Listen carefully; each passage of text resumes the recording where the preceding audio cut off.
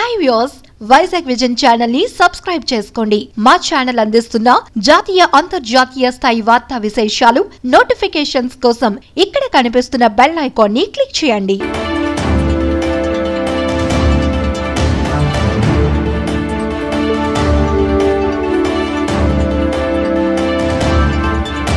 నమస్తే నేను విష్ణు నాగిరెడ్డి తిత్లీ తుఫాన్ దాటికి శ్రీకాకుళం జిల్లా అతలాకుతలం అయిపోయింది. ప్రజలందరూ రోడ్ల మీద పడ్డారు. నిజంగా నిరాశ్రులు అయిపోయారు. ఇల్లు వాకిలి ఏమీ లేవు. కట్టుకోవడానికి బట్టలు లేవు. తినడానికి తిండి లేదు. అంత దారుణమైన పరిస్థితుల్లో ఆదుకోవాల్సినటువంటి మన ఆంధ్రప్రదేశ్ ప్రభుత్వం ముఖ్యమంత్రి చంద్రబాబు నాయుడు గారు తూతు మంత్రంగా వెళ్ళి వాళ్ళని పలకరించి వచ్చేయడం జరిగింది.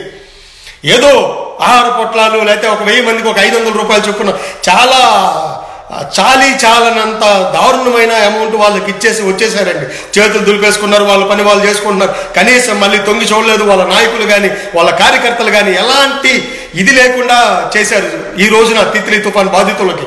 ఇకపోతే మన జగన్మోహన్ రెడ్డి గారు ప్రతిపక్ష నాయకులు ఆయన ఎప్పుడూ అంటారు నేను సీఎం అయితే చేస్తా సీఎం అయితే చేస్తా. ఆయన సీఎం కాదు కదా అందుకని వెళ్ళి కనీసం తొంగి చూడలేదు వాళ్ళ కార్యకర్తలు కానీ వాళ్ళ నాయకులు కానీ ఎవరు కూడా అక్కడికి వెళ్ళి నిజంగా పలకరించిన పాపాను కూడా పోలేదండి. ఇదంతా విచారకరం బాధాకరం. ఇకపోతే పవన్ కళ్యాణ్ గారి గురించి మాట్లాడితే ఇక్కడ శ్రీ పవన్ కళ్యాణ్ గారు చెప్పారు ఒక రోజు నేను వెళ్తున్నానని చెప్పి.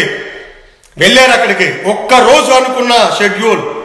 అక్కడ వాళ్ళ బాధలను చూసి వాళ్ళు పడే ఆవేదన చూసి ప్రతి మారుమూల గ్రామానికి తుఫాను బాధితులు ఎక్కడైతే ఉన్నారో అన్ని మారుమూల గ్రామాలకి చీకట్లో కూడా చీకటిని సైతం లెక్క చేయకుండా సెక్యూరిటీ కూడా పెద్దగా లేకుండా అసలే పరిస్థితులు బాగాలేదు అయినా కూడా అలాంటి ప్రేసులకు వెళ్ళి పవన్ కళ్యాణ్ గారు అందరిని పలకరించి వాళ్ళ బాధలన్నీ తెలుసుకొని ప్రపంచానికి అంటే తెలుగు వాళ్ళు ఎక్కడున్నారో అందరికీ తెలియజెప్పారండి. సెంట్రల్ గవర్నమెంట్ కూడా ఈ రోజున దిగొచ్చేలాగా చేశారు. ఆయన పడ్డ కష్టం ఒక్కరోజు అనుకున్నది. ఆరు రోజుల పాటు అన్ని వదిలేసుకొని ఆయన ఏ ఎమ్మెల్యే లేరు ఎంపీ లేరు సీఎం ఆయన ఏ హోదా లేదు అయినా కూడా వెళ్ళి ఆరు రోజుల పాటు అక్కడే ఉండి ప్రజలను శ్రీకాకుళం తిత్లీ బాధితులు ఎవరైతే ఉన్నారో వాళ్ళందరినీ పలకరించి వాళ్ళని ఆదుకుంటానని హామీ ఇచ్చి వచ్చి ఈ రోజున సెంట్రల్ గవర్నమెంట్ రెండు వందల ఇరవై తొమ్మిది కోట్ల రూపాయలు విడుదల చేసింది అని చెప్పి మనకి వార్తల్లో రావడం జరిగింది.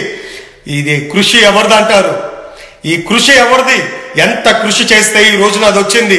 ఏ ప్రతిపక్ష నాయకులు చేయకూడదా? అధికార పక్షం ప్రాజెక్టుల కోసం వాళ్ళ సొంత కాంట్రాక్టుల కోసం వేల కోట్లు ఇస్తారే? దాన్ని కొంచెం పక్కన పెట్టి కనీసం వంద రెండు వందల కోట్లు రిలీజ్ చేసి ఉంటే ఎంత బాగుండేది? తుఫాను బాధితులకి ఎంత ఆసరాగా ఉండేదండి? అదంతా లేకుండా చేశారు.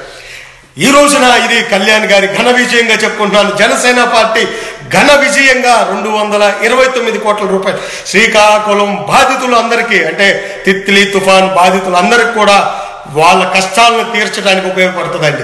Sir hats off sir Pawan Kalyan garu. ఇక్కడి నుంచి చెప్తున్నాను సార్ హ్యాట్స్ ఆఫ్ నా ఫ్రెండ్స్ నా ఫ్యామిలీ మెంబర్స్ చాలా మంది అడుగుతారండి నన్ను. ఎందుకు నీకు పవన్ కళ్యాణ్ గారు అంటే పిచ్చిరా? ఎందుకు నీకు ఆ జనసేన జనసేన అంటావు ఎప్పుడు? ఎందుకంత పిచ్చిగా ఉంటావు? ఉద్యోగానికి సరిగ్గా వెళ్ళవు. ఏ పని చేయవు? ఇంటికి వచ్చావు. ముప్పై రోజులు ఉన్నావు ఇండియాలో. ముప్పై రోజులు ఉండి జనసేన జనసేన అంటే తిరిగావు. ఎందుకు నీకు అంత పిచ్చి? ఏమొచ్చింది అని అడిగా. ఇప్పుడు చెప్తున్నా నా ఫ్యామిలీ మెంబర్స్ కానీ నా ఫ్రెండ్స్కి కానీ అందరూ చూడండి. ఒక వైసీపీ జగన్మోహన్ రెడ్డి గారు చేయగలిగారా?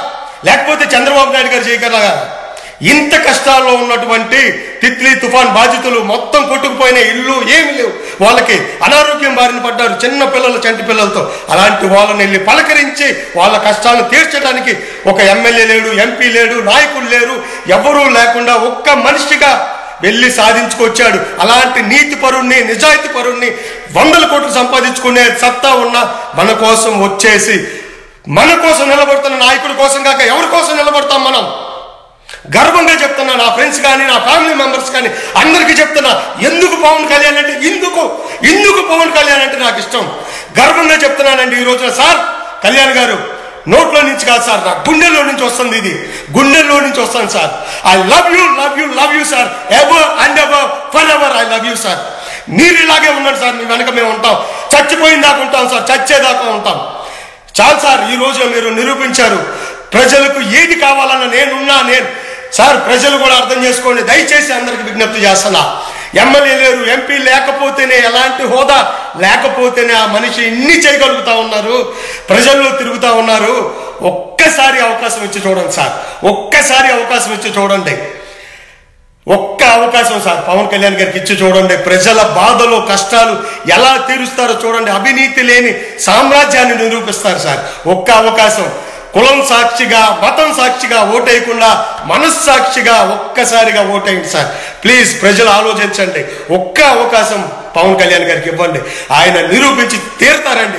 మనకి పెద్దలు చెప్తున్నారుగా ఏ దేశం ఎగినా ఎందుకు కాలిడినా పొగడరా నీ తల్లి భూమి భారతిని నిలుపరా నీ జాతి.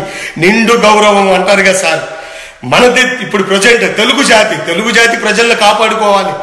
ఎక్కడికి వెళ్ళినా పవన్ కళ్యాణ్ గారు వాళ్ళ ప్రాబ్లమ్స్ని సాల్వ్ చేస్తారు. వాళ్ళ వైపు నుంచి ఉంటారు. వాళ్ళ ప్రజల కష్టాల కోసం ఆయన ప్రాణాలను సైతం లెక్క చేయకుండా ఉంటారు సార్ నమ్మండి సార్ ఒక్క అవకాశం. ఈ సోకాల్డ్ రాజకీయ నాయకులను వదిలేయండి సార్.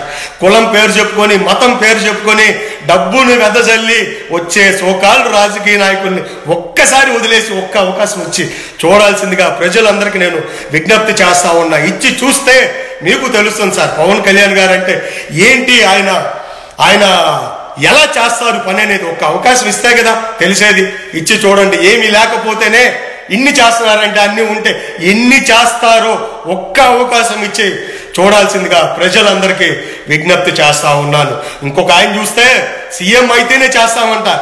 మనస్సు ఉండాలే కానీ కష్టపడే నీతి నిజాయితీ నిబద్ధత ఉండే రాజకీయ నాయకులు ఉంటే సీఎం అవ అవసరం లేదండి. చేస్తారు. కానీ సీఎం అయితే ఎన్నో చేయగలం. సీఎం కాకపోతే కనీసం ఇలాంటివన్నా పోరాడి చేయొచ్చు. అది పవన్ కళ్యాణ్ గారు నిరూపించారు. ఇంకా ఇంకా ఇంకా చాలా చేయాలి. ఆయన కనుక మనందరం ఉంటాం. మంచి వెనక మనం ఎప్పుడూ ఉంటాం. Love you sir love you love you love you Jai Hind thank you